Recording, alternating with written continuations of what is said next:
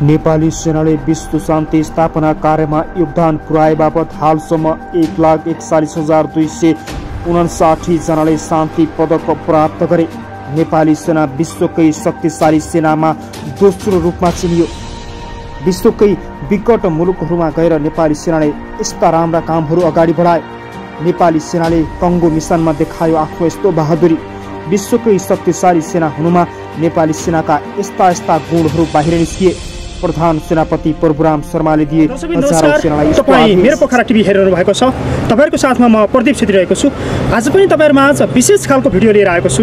Video अन्तिमसम्म हेरी मनमा लागेका कुराहरू कमेन्ट गरी जतिसक्दो सेयर गर्नु पनि नबिर्सिनुहोला नेपालको पछिल्लो घटनाक्रमलाई लिएर नेपालका सीमा विवाददेखि लिएर नेपाली सेनाले गरिरहेको काम र कारवाहीलाई तपाईँहरूमा आज पस्कने जमलको गरिरहेको छु।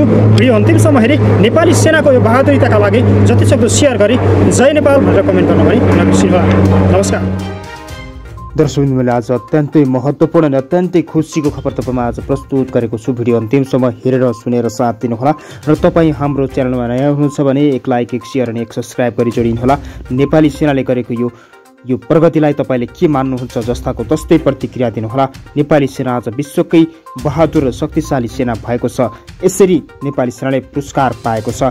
आजको महत्त्वपूर्ण एक्सक्लुसिभ खबर हेरिसकेपछि तपाईँको मनमा लागेका कुराहरू जस्ताको तस्तै प्रतिक्रिया दिनुहोला र हाम्रो च्यानलमा नयाँ हुनुहुन्छ भने एक लाइक एक सेयर एक सब्सक्राइब गरी जोडिनुहोला। सुरु गरौँ आजको मुख्य विषयवस्तु। नेपाली सेनाले विश्व शान्ति स्थापना कार्यमा एकथान पुर्याए बापत हालसम्म एक लाख एकचालिस हजार दुई सय उनासाठी शान्ति पदक प्राप्त गर्न सफल भएको छ। संयुक्त राष्ट्रसङ्घको आयो आयोजनामा विश्वका विभिन्न द्वन्द्वग्रस्त मुलुकमा स्थापना गरिएको शान्ति मिसनमा रही सुम्पिएको जिम्मेवारी कुशलतापूर्वक सम्पन्न गरे बापत सेनाले उक्त सङ्ख्याको शान्ति पदक प्राप्त गरेको हो। नेपाली सेना विश्वकै शक्तिशाली सेना भएको भन्दै प्रशंसा समेत गरेका छन्। नेपाली सेनाका प्रवक्ता नारायण सिरवालका अनुसार नेपाली सेनाले अन्य देशहरूको सुर- सुरक्षा चुनौतीलाई थप सहज बनाउने काम गरिरहेको र यो अवस्था अन्य देशहरूको सेनाले गर्न नसकेको भन्दै नेपाली सेनाको प्रशंसा समेत गर्नुभएको छ। शान्ति मिसनमा आफ्नो कार्यकाल पूरा गरेर फर्किने सैनिकलाई राष्ट्रसङ्घले शान्ति पदक प्रदान गर्ने चलन छ। संयुक्त राष्ट्रसङ्घको शान्ति यात्रामा हालसम्म एक हजार आठ सय उनसत्तरी नेपाली महिला सुरक्षा फौजबाट समेत योगदान भइसकेको छ। विश्वकै शान्ति सैनिक इतिहासमा साहसिक र व्यावसायिक अनुशासित सेनाको कोटीमा अव्वल साबित नेपाली सेना अहिले शान्ति सेना धेरै पठाउने मुलुकको सूचीमा दोस्रो बरियामा छ। विश्व शान्ति कार्यमा अहिले एघार मुलुकका बाह्र मिसनमा तिन सय उनासत्तरी महिलासहित पाँच हजार छ सय तेइस नेपाली फौज सुरक्षा फौज तैनात रहेको शान्ति सेनाका शान्ति कार्य निर्देशक सन्तोष वल्लभ पौडेलले जानकारी दिएको छ। संयुक्त राष्ट्रसङ्घको शान्ति कार्यमा लेबनानमा पहिलो पटक उन्नाइस सय अन्ठाउन्नमा संलग्न भएको सेनाले यसबीचमा द्वन्द्वग्रस्त विभिन्न राष्ट्रमा स्थापना भएको चौवालिस शान्ति मिसनमा काम गरेको अनुभव बटुलिसकेको छ। विश्वका कयौँ द्वन्द्वग्रस्त मुलुकमा शान्ति कायम गर्न सिलसिलामा परिचालित हुँदा अहिलेसम्म एकहत्तर सैनिकले वीर गति प्राप्त गरेका छन् भने घाइते सैनिकहरूको सङ्ख्या छैसठी पुगेको छ।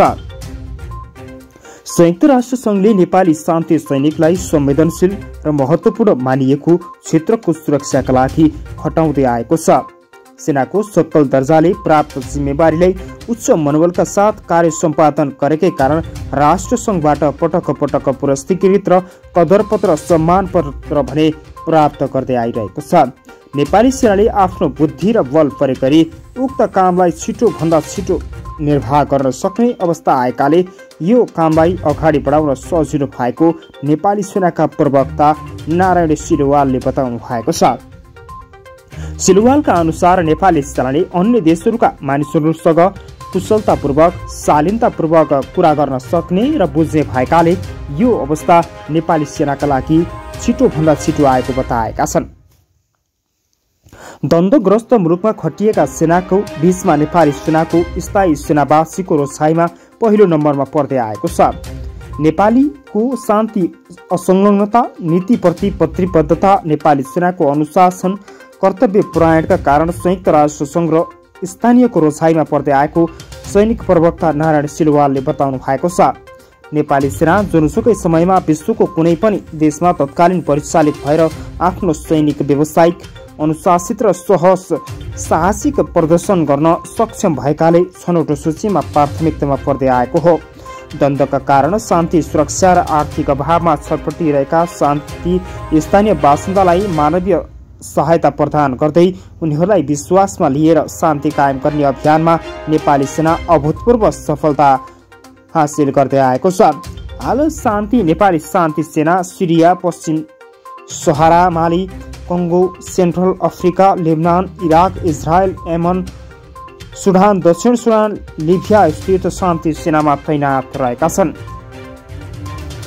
पछिल्लो वर्षमा संयुक्त राष्ट्र संघबाट शान्ति सेनाको फोर्स कमान्डको जिम्मेवारी समेत नेपाली सेनालाई लगातार उपलब्ध हुँदै आएको छ। यसअघि सात अघि सातजनाले उक्त जिम्मेवारी सफलतापूर्वक पूरा गरिसकेका छन्। संयुक्त राष्ट्र सङ्घले नेपाल सरकारले आवश्यक परेको खण्डमा दस हजारको सङ्ख्यामा सैनिक पठाउन सक्ने यसअघि नै प्रतिबद्धता जाहेर गरेको छ।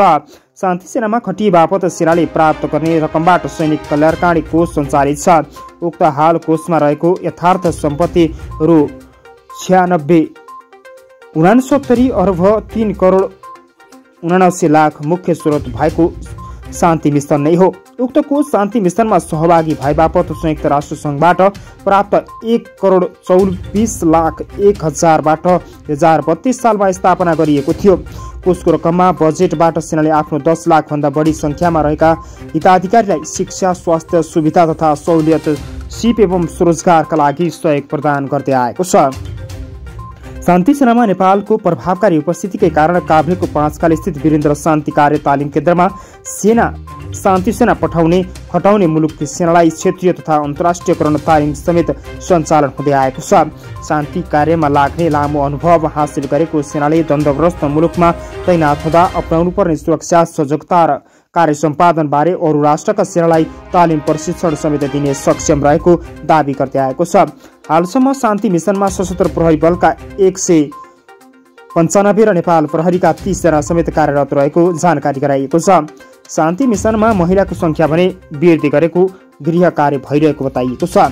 सेनाले मिसन इलाकामा वातावरणीय प्रभाव न्यूनीकरणका लागि द्विपक्षीय बहुपक्षीय कार्यक्रम मार्फत नवीकरणीय ऊर्जाको प्रयोग गर्ने शान्ति सेनामा पठाउने निर्णय गणको स्तरोन्नति कार्यलाई प्राथमिकतामा राखेको राष्ट्रिय समाचार संस्थाले बताएको छ।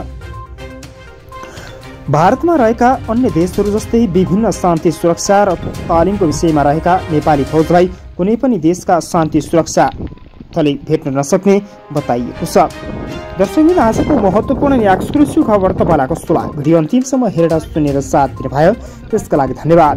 यस्तै यस्तै नयाँ ताजा खोज अनि सन्देशमूलक भिडियो हेर्नका लागि मेरो पोखरा टिभी मिठो अनलाइन टिभीलाई एकसाथ सब्सक्राइब गरी हामीसँग जोडिनुहोला। पल पलको ताजा खबरको अपडेट तपाईँलाई दिने हाम्रो अभियान जारी छ। तपाईँको बाँकी पल शुभ रहोस्। नमस्कार।